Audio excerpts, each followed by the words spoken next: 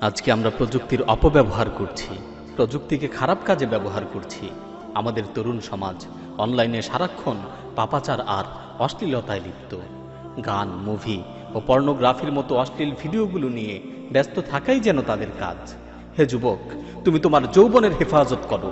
হে যুবক, তুমি তোমার চোখের হেফাজত করো। তুমি একাকী কম্পিউটারের সামনে বসে বসে পাপাচার করছ আর মনে মনে ভাবছ, পৃথিবীর কেউ তো তোমাকে দেখছে না। মনে রেখো, তোমাকে পৃথিবীর কেউ দেখুক আর না দেখুক, আল্লাহ সুবহান তাআলা কিন্তু ঠিকই দেখছেন। পৃথিবীর কেউ তোমার পাপাচার সম্পর্কে জানুক আর না জানুক, আল্লাহ সুবহান হুয়া তালা কিন্তু ঠিকই জানেন। তুমি কম্পিউটারের ব্রাউজিং হিস্টোরি থেকে তোমার পাপাচারকে যতবারই ডিলেট করো না কেন মনে রেখো, আল্লাহর কাছে তোমার পাপাচারের হিস্টোরি কিন্তু ঠিকই থেকে যাচ্ছে। কি কিরমান কাতিবিন তথা সম্মানিত লেখক ফেরেস্তাগণ তোমার অপরাধগুলোকে লিখে রেখেছেন। কিয়ামতের দিন সকলের সামনে তোমার অপরাধগুলোকে প্রকাশ করে দেয়া হবে। আজকে তুমি যেই হাত দিয়ে কিবোর্ড চাপছ, যেই হাত দিয়ে মাউস নাড়ছো যে চোখ দিয়ে অশ্লীল জিনিসগুলো দেখছ, সেই হাত সেই চোখ সেদিন তোমার বিরুদ্ধে সাক্ষী দিবে।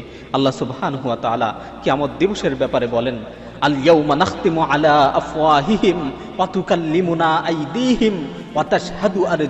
বিমা কানু আজকে আমি তোমাদের মুখগুলোকে বন্ধ করে দিব। আজকে তোমাদের অপরাধের ব্যাপারে তোমাদের হাত কথা বলবে, তোমাদের পা কথা বলবে। আজকে তোমাদের অপরাধের ব্যাপারে তোমাদের হাত পা সাক্ষী দিবে। সুতরাং হে যুবক, দুনিয়ার মানুষকে নয়, ওই মহান সত্তাকে ভয় করো, ওই মহান আল্লাহকে ভয় করো, যার কাছে কোনো বিষয় গোপন থাকে না, যিনি আলিম বিধাতি সুদূর, যিনি তোমার অন্তরের বিষয় সম্পর্কে জ্ঞাত, যিনি আল্লামুল গয়ুব, যিনি গায়েবের খবর রাখেন, সেই মহান প্রতিপালককে ভয় করো, সেই মহান রবকে ভয় করে সকল অশ্লীলতা ও পাপাচার থেকে বিরত থাকো।